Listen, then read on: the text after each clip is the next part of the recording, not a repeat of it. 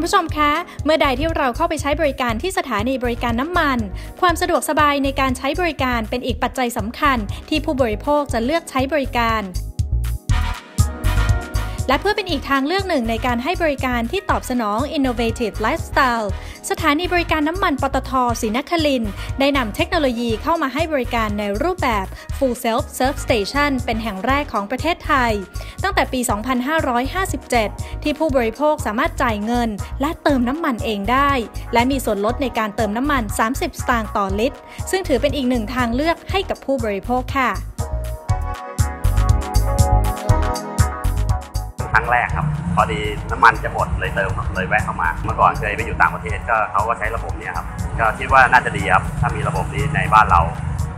เรามีส่วนลดผมว่าเป็นทางเลือกที่คุ้มค่าตอบโจทย์ถ้าถามว่าตอบโจทย์ไหมก็ตอบโจทย์ระดับหนึ่งแล้ว เราลงมาทำเอง ทำเองเราเห็นค่าเเวลาเติมน้ำมันของจริงแน่นอนไม่ยุ่งยากนะครับผมว่าง่ายเลยแต่ว่าตอนแรกเราก็จะงงๆอยู่ว่าทำยังไง แต่พอพอทำไปเรื่อยๆ เราก็รู้สึกมันสะดวกสบายและเร็วกว่าด้วย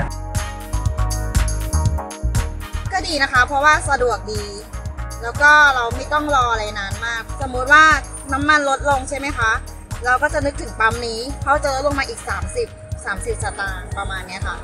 ก็ถือว่าโอเคเลยแหละ ผู้ชายก็เติมผู้หญิงก็เติมได้ เพราะมันไม่ได้ยุ่งยากอะไร แล้วก็สะดวกทุกสิ่ง